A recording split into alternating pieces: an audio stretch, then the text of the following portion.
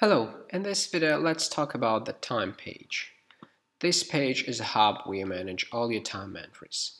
There is a global search at the top where you can find any project to which you have access, then find a task from this project and start tracking your time with a timer or adding hours manually, not just for today but for any previous date.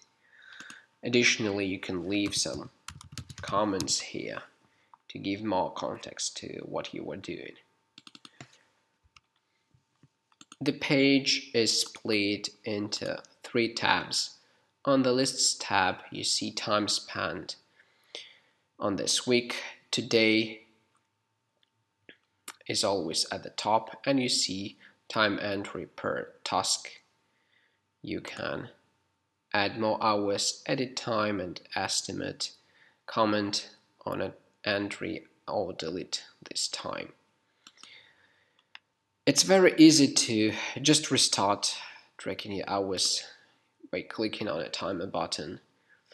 And uh, on the left side you can see when time was submitted. If you see the yellow time entry it means that time was stopped by somebody or maybe per team policy Additionally, you can click on a task to go to its time log and see more details about how time was tracked and who stopped your timer. Timesheet shows all tasks and daily time on every task. Again, you can simply restart your timer add hours. Manually update them.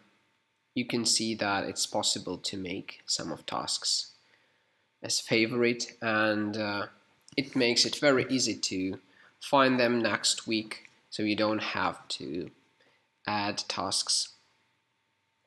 Although it's very easy to just add a new task to this timesheet open recent tasks, download your timesheet or switch to the compact view. By the way, you can also just move a time entry to another task or to another date of this timesheet. Time card is perfect for login time for salaried employees or team members who don't need to log their hourly work. You can turn off this feature in your TMAPS page. So here you see when a person starts working, when they end their work, and what triggered uh, this action. A user can manually clock in and clock out, and this will reflect time here. Clock in can be automatically initiated uh, with starting a timer on any task, clock out can be automatically initiated if you set the working hours in your team settings. You can see the total number of breaks and total number of hours. You can also just enter this data manually one more thing to mention is that you can use our browser extension to track the status. You can see I have a running timer and the browser extension shows me that I'm active and on what task I'm tracking my time. It's a copy of my list tab. There is also a search by